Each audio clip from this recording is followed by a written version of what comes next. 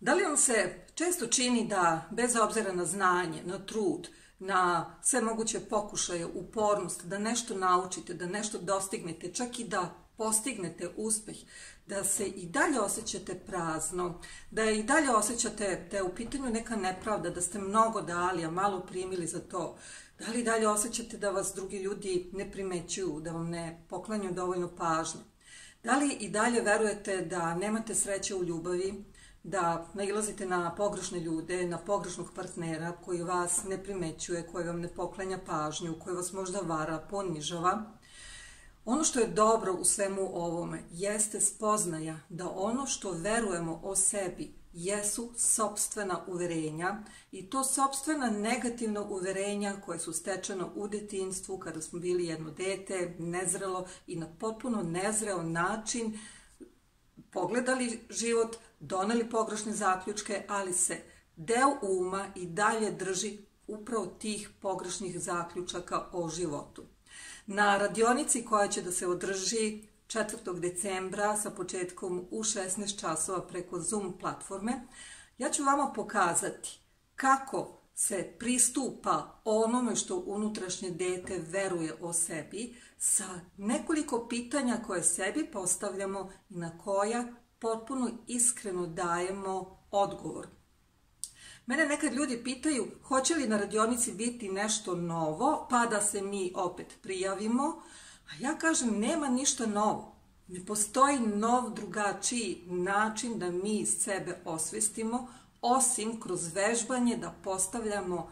dosledno prava pitanja i da sebi dajemo dosledno iskrene odgovore pomoću kojih otkrivamo ta lažna uverenja kojih se naše unutrašnje dete drži. Dokle god bilo ko u toku dana ima nelagodu u sebi, dokle god ima osjećanja koja nisu prijatna, čak i ako ne možemo da ih definišemo, ako su to osjećanja da verujemo da nam je mučno da živimo, da moramo opet nešto iz početka, da smo opet neka žrtva. Dokle god imamo bilo koje neprijatno osjećanje u sebi, to znači da je unutrašnje dete još uvek aktivno i da mu mi ne pristupamo na pravi način. I zato nema novi način, nego onaj pravi način da se dobro razume, da se dobro uvežba i da se dobro primenjuje svakodnevno. To znači da ćemo na radionici raditi iskreno. Svako od vas će imati priliku da iznese ono što veruje da mu je problem,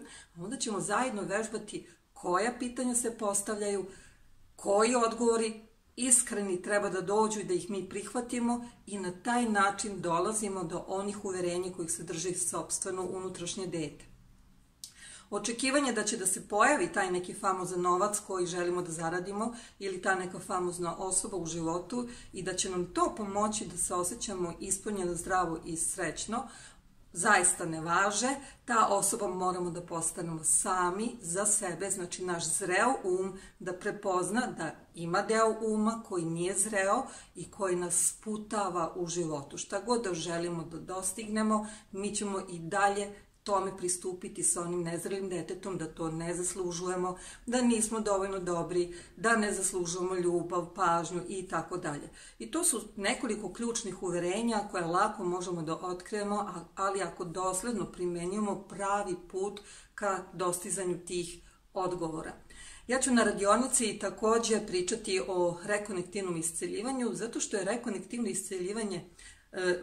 jedna energija toliko moćna koja pokreće našu svest da vidimo blokadu u sebi, da vidimo gde smo se mi zaglavili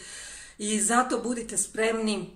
4. decembra sa početkom u 16 časova preko Zoom platforme da zajedno radimo, da svako ima priliku da pristupi svom unutrašnjem detetu, da mu pomognemo da sazri, da ga edukujemo, a sve bitne informacije kako možete da se prijavite za radionicu naći ćete na kraju ovog video snimka.